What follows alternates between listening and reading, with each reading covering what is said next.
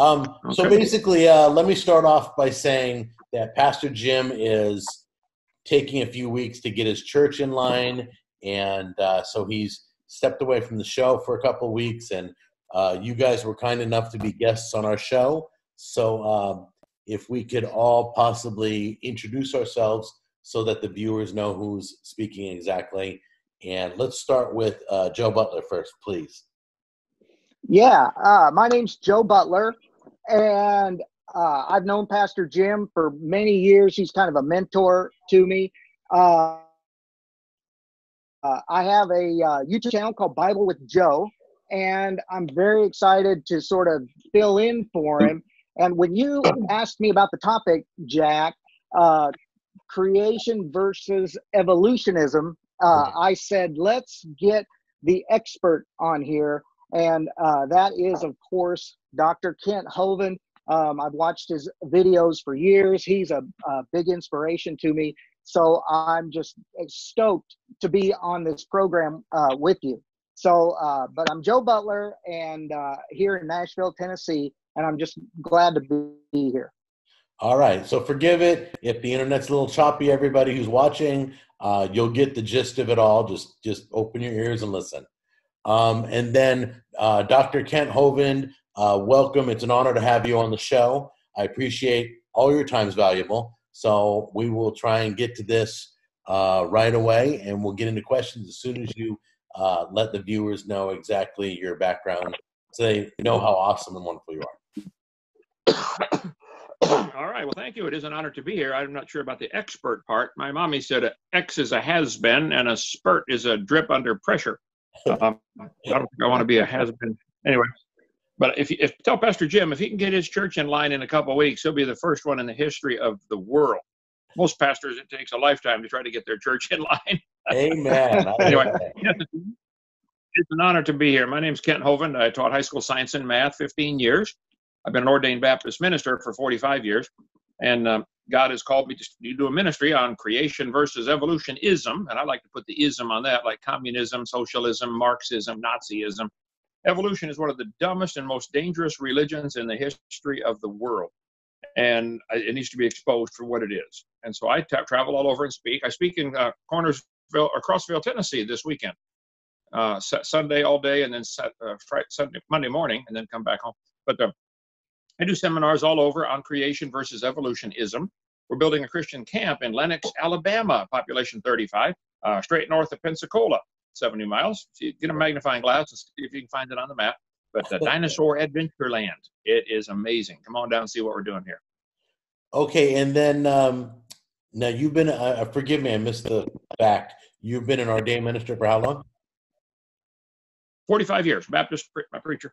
Wow. The independent independent, temperamental, fundamental, right wing, radical, chicken eating Baptist, the dangerous kind. Yep, I love it. So um, let me uh, let me just start by saying a lot of the people who watch our show are literally on the fence, lost completely. They have no clue on what they're thinking. They've never been introduced to God. They have no idea about the Word or what some of the worldly beliefs are. So, could you possibly define the differences between the two viewpoints? Well, sure. If you read the Bible, it says very clearly in the very first verse that God created the world. God created the heaven and the earth. I mean, that's the first verse in the Bible. And then later, if you read in Exodus chapter 20, God wrote the Ten Commandments on a rock and handed them to Moses. One of them said about the Sabbath, about the Sabbath day, excuse me, it says, In six days the Lord made heaven and earth, the sea, and all that in them is. So the Bible clearly teaches that God made. It says it comes very clearly to about six years. Uh, it says Adam was 130 when Seth was born, and Seth was 105 when Enos was born. It's all in Genesis chapter 5. But if you add up the numbers found in the Bible, it couldn't be more clear. The Bible teaches the earth is not billions of years old. Instead, it adds up to about 6,000 years old. And so I defend the position that the Bible is exactly correct. God made everything, including dinosaurs, everything in six days. The evolution theory says uh, billions of things dying, slowly improving, brought man into the world, where the Bible teaches that it was man that brought death into the world instead of death that brought man into the world. These two worldviews could not be more polar opposite. Somebody is real seriously wrong, and I really enjoy showing them who they are. Don't you find it interesting that they say something's a million years old, and yet they have nothing to, that's a million years old to compare it to? Well, see, those big numbers, the human brain cannot absorb those giant numbers. It gets lost, you know. People say, you know, Columbus or Abe Lincoln was president 160 years ago. That's like, that's a long time. 160 years is a long time. A lot can happen in 160 years. Yeah. Columbus was running around trying to find this place 500 years ago. That's a really long time, you know, 500 years.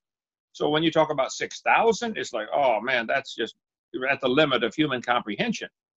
But yet they want to talk about billions of years, you know, tens of billions of years. This just simply is a propaganda technique to make it get lost in human minds that people say, oh, wow, it must be true. Hitler said, if you're going to tell a lie, tell a big one. People are more likely to believe a big lie than a small one. Oh, yeah. And the idea that, the idea that everything in the universe fit into a dot that exploded and that we came from a rock, that is so stupid, beyond imagination stupid. Uh, but they believe it. Worse than that, it's, not, it's bad enough that they want to believe evolution. They want to teach it to all the kids. That's what becomes criminal, in my humble opinion. Yeah, that's almost as bad as teaching um, sexual nature topics to my children and all that. And I'm like, you know what? That belongs in the household. That belongs to the parents. We get to choose what our children learn in those areas. Stick to reading, writing, and arithmetic. So See, what, this goes back to back to besides actually who do children belong to? If children belong to God and they're entrusted to parents, then yeah, parents get to decide. Right. But if evolution is true, there's no God, and there's so the majority decides right from wrong in the in the, the evolutionist mind. And so the majority of people say, hey, no, we want to teach them this. This is what they do in communist countries or in Nazi countries. The majority, you know, Hitler gets a majority of people following him and you eliminate the minority. This is a real serious topic. This evolution is a real serious topic. But go ahead, brother. I'm sorry. I didn't realize. So a lot of people say that the dinosaurs uh, you say there were dinosaurs. Where does that fall into the timeline? Because people well, think it's before people. The Bible says God made everything in six days. That's very clear. Exodus 20, 11. He wrote that on a rock with his finger. And he said it again in Exodus 31, 7. Mm-hmm. And it says in Matthew 5, 19, 4 that the creation of Adam was the beginning of the creation. Mark 10, 6 and Matthew 19, 4. So if the creation of Adam was the beginning, then everything had to live at the same time, which is clearly what the Bible teaches if you read it. And before the flood came in the days of Noah, the Bible says the people lived to be 900 years old. You know, read Genesis chapter 5. It's all right there. Adam was 930 when he died. Mm-hmm. Methuselah was 969. Noah was 950. So before the flood came, according to the Bible, the people lived to be 900 years old. And it's just a biological fact that reptiles and snakes and lizards, etc., never stop growing. Right. Humans stop growing at 16 or 18, at least vertically. Some go horizontally after that, but reptiles never stop. Right. What right. would happen to a reptile if he could live to be 900? He'd be huge. That's the dinosaurs. Uh, Jack. Yeah. I, I have a question. Yeah. Uh, Dr. Hovind, um, so uh, you say that the dinosaurs and man and all the animals were created at the same time, uh, that uh, they all uh, died in the flood except for Noah and his family and the animals on the ark. Um, why do we see so many dinosaur fossils, but we don't find uh, that many human fossils? Well, first, quite a few human fossils have been found. I mean, it's up into the hundreds, but I point out that um, at the creation of the world, the world was full of animals, full of plants, and only two people. So it was not full of people. It only had two people. But the rest of the world's full of animals, full of plants. God made a bunch of them. Mm-hmm. Then, 1600 years later, when the flood came, the world is still full of animals and still full of plants and still not full of people. So I don't know how many children they had and how what the population was in the flood to drown. Let's say it was a billion. I don't know. It'd be it'd be wildly guessing on our part. But as I point out that there were probably a lot less people to drown than there were animals. Number one. Number two, people are smarter than animals, at least some people. Uh, and so they would be they would find a way to avoid drowning until the last possible minute. You know, they would build a build a raft or hang on to something, or they, they could find a way to avoid being destroyed in the first couple days.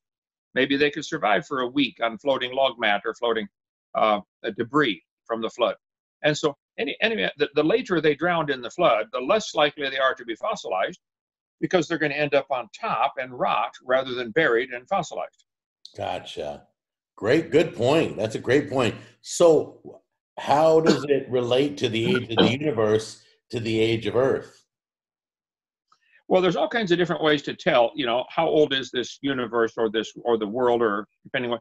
If you pick up a rock out of your driveway and say, "How old is it?" Well, they don't have a date on them. They don't talk, and you can't listen to it and tell you. Can't tell you. So we have to put our interpretation on it. Uh, the Bible dates clearly add up to about six thousand, and when you look at uh, the dating of, like, say, uh, a, a, civilization, we did we go look at the Egyptian pyramids. How old are they? I don't know. There's been a whole lot of research. I mean, tens of thousands of hours trying to figure out the answer to that question, and they come up with about four thousand years old. Uh, some get bigger numbers, some get smaller numbers because they they the further back you go in history, the more fuzzy it gets to try to get these numbers accurately. Um, but uh, they don't even know for sure the date Jesus was born. It wasn't Christmas Day, that's for sure, and it wasn't the year zero. But I don't know. If there's all kinds of scientific indicators that the Earth is not billions of years old. Uh, for example, uh, the moon is going around the Earth, but the moon is gradually getting further away from the Earth. We're losing the moon. It's leaving us about 1.6 inches a year. Wow. This is pretty well established. Well, one, 1.6 inches a year is not a lot, but it's only 240,000 miles to the moon. And if you bring the moon back in closer, 1.6 inches every year for 5,000 years, ooh, this starts to become a problem. Okay. Uh, if you want to go back 5 million years, now you really have a problem. You want to go back 50 million years, oh man, it's a problem because the closer the moon is, two things happen the tides are higher if the moon is closer. Right. Secondly, the gravity is stronger.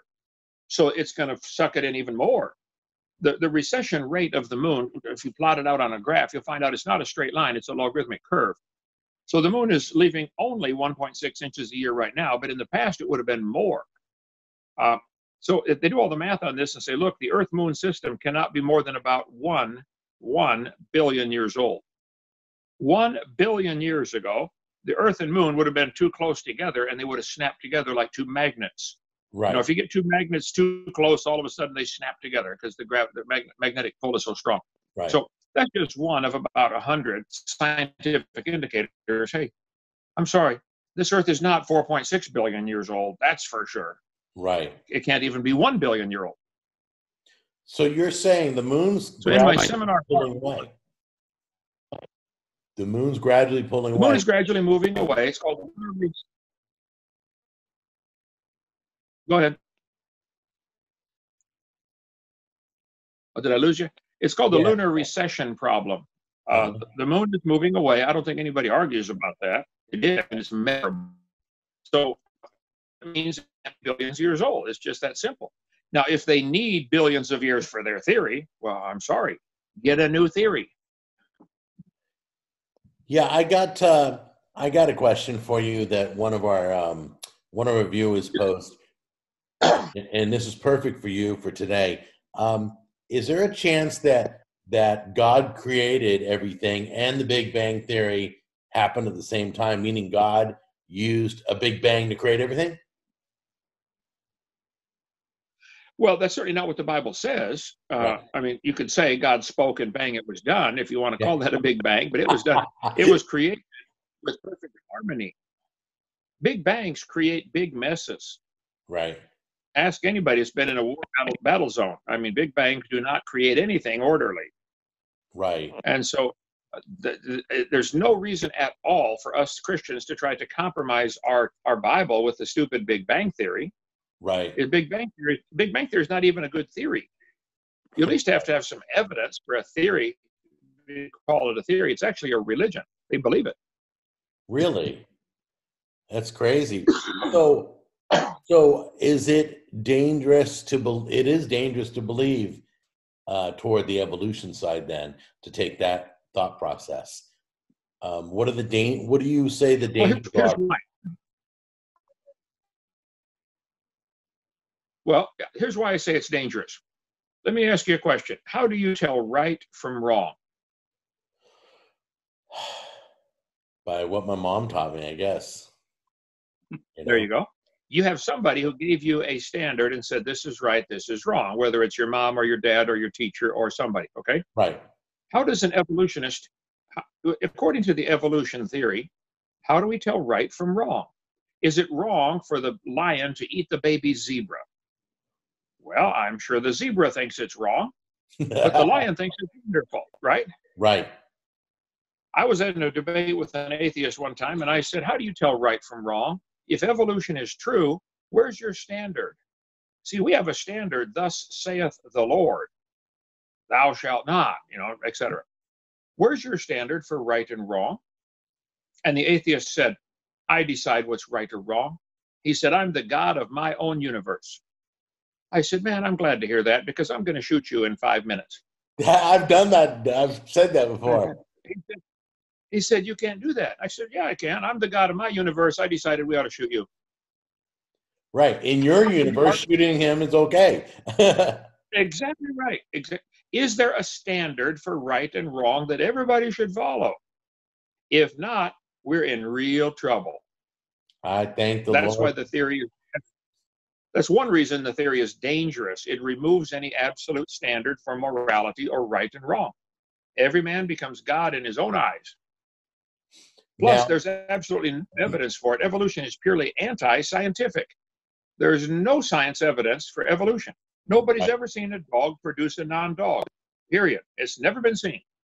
well, it's so inter- want it, it's interesting because you know if there was evolution, we should have found fossils that showed every stage of evolution, and we have not. We've not filled in the gaps of what they're making up. well, it's worse than that. No fossils would count at all. When you find fossils in the dirt, all you really could prove is it died. You can't prove it had any kids at all. Right. And you can't prove it had kids that were different. And you can't prove it's intermediate between anything. Is a tricycle intermediate between a bicycle and a four wheeler? No, a tricycle is designed to be a tricycle. It did not come from a bicycle, it was designed from the ground up as a tricycle. It was designed. So, no fossils are going to count as evidence for evolution. You Right. can't prove it had any children. You can't prove it had any children that were different. You can't prove it had any, any children that lived. Plus, why would you think a bone in the dirt could do something no animal today can do? No farmer in the history of the world has ever seen or reported that their plants or animals, whatever they're raising, produce something other than the same kind. Cows produce cows, corn produces corn. There is no example out there of anything other than that. So turning to fossils is a sign of pure desperation. You don't know those bones had any kids at all. Brilliant. Fossils don't count at all for evolution, not at all. Right.